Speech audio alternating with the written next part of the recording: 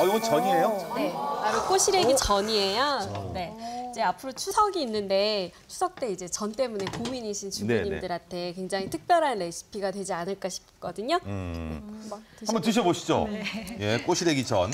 너무 예쁘게 붙여놓으셔가지고. 근데 왜 어, 어, 어. 어떤 식품들은 열을 가하면 영양소 파괴된다고 그러잖아요. 근데 꼬시래기 같은 경우에 전으로 부쳐도 괜찮은 건가요? 네, 꼬시래기는 전으로 부쳐도 별 문제 없고요. 예, 그래서 이제 우리 추석에 전 부치실 때 이렇게 그 해물전 같은 거 할 때 같이 부쳐도 좋고요. 단지 아까 잠깐 말씀하셨는데요. 이제 바다에서 나는 거기 때문에 소금기 제거하는 것을 조금 주의 깊게 관심 있게 해주시면 좋을 것 같습니다. 맛있다. 그리고 전 먹어보니까 옥수수도 들어간 것 같고 뭐 새우. 당근 네, 새우. 새우도 음, 들어. 네. 옥수수가 들어간 것 같아요. 아닌가요? 아니 모르죠. 양파.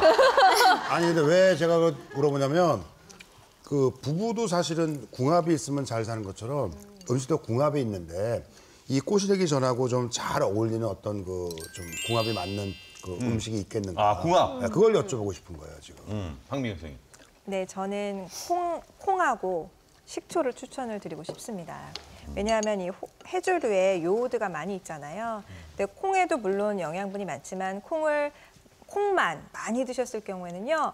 이 요오드를 배출하는 그런 성질이 있어요. 그래서 요오드가 부족해질 수도 있기 때문에 해조류와 콩을 같이 드시는 게 굉장히 좋은 조합이 되고요. 그리고 식초와도 좋은 궁합이 되는데 식초는 알긴산을 용해시켜서 그 너무 꼬들꼬들한 해조류의 경우에는 식초랑 함께 드시면 식감이 훨씬 부드러워집니다. 네. 죄송하지만 말씀하실 때 그건 그릇을 내려놓고 앞에서 먹으니까 아니, 근데 내려놓을 수 없는 맛이어서. 맞아요. 그러니까 네. 너무 내려놓을 수. 없는 맛. 네. 그럼 이렇게 전 부쳐서 간장 식초 찍어 먹어도 괜찮겠네요. 아, 좋은 good 아이디어네요. 식초 좋다고 역시 하셨어요. 네. 살림 구단이에요. 말이. 예.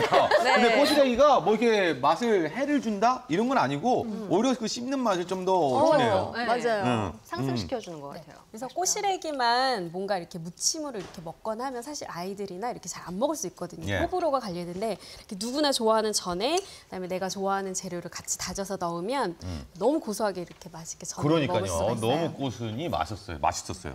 예. 너무 맛있었어. 다 먹어도 돼요. 드셔도 됩니다. 드세요. 막 땡긴다고 이게 네. 진짜로 이게.